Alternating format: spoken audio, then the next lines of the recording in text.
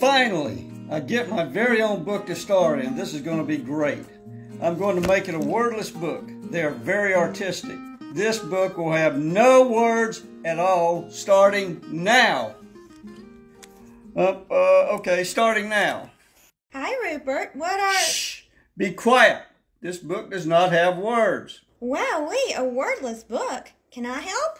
Oops, I'm talking. Beep, I'm talking about talking. Stop. The book already started. You're messing it up.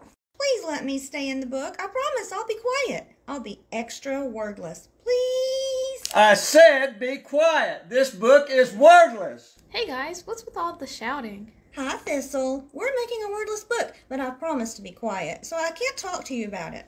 A wordless book? I love those. They're very artistic. Can I be in it? Yes, but we won't tell Rupert, since we're not supposed to be talking. I told you to be quiet. You're putting too many words in the book. Yay, this book is going to be so much fun. Quiet, you! This book will be more than fun. It will be visually stimulating.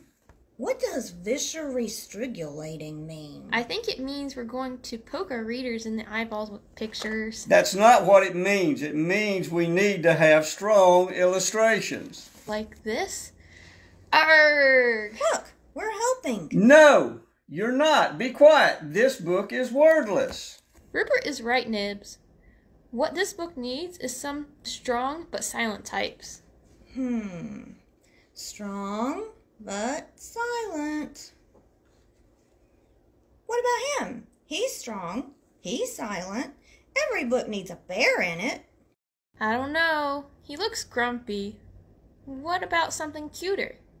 What about a kitten? Kittens are super cute and friendly. Aw, look at its cute little nose and whiskers. And its beautiful big eyes and shiny teeth. Nibs, I think it's getting a little too friendly. Quick, think of something vegetarian.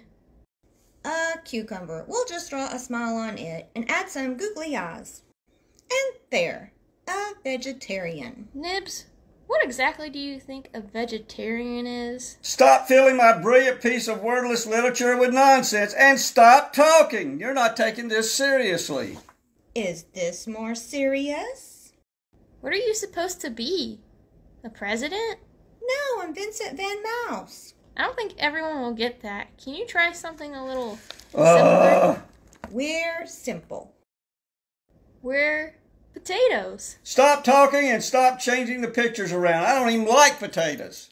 Rupert is right. No more artistic stuff. Wordless books need action. We should have a silent superhero instead. We'll call him Captain Quiet. And he could fight words. Pow, blam, kaboom. No, no, no. No superheroes, no onomatopoeia either. I think Rupert just said, I'm a gonna pee ya. What do you think that means? I think it means he should have gone to the bathroom before the book started. What about moms? Moms are extra quiet. Guess what I'm miming? Let's see. Is it a cheese sandwich that thinks it's a hummingbird with a lettuce sweater? Don't you know what be quiet means? It means don't make a sound. Right. It's like that saying about what a tree falling in the woods. How's it go? Nibs, can you help? I'm on it. Ugh. It goes something like a tree falls on someone who isn't listening in the woods. No, that's not right. Did the tree make a sound? It was hard to tell with all Rupert shouting. Should we try again? Enough! I've had it. All you two do is talk, talk, talk. I can't stand it. Can't you be quiet for just one page? I try to do one thing, make a wordless book, and you two go and ruin it. You have filled this book with words. No one is going to want to read a wordless book that is filled with words.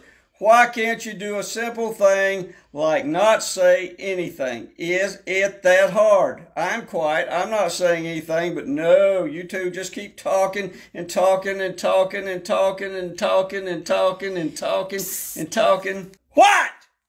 Shh. Be quiet. This book does not have words. Oh. I thought the book turned out okay. I hope we get to do another one soon.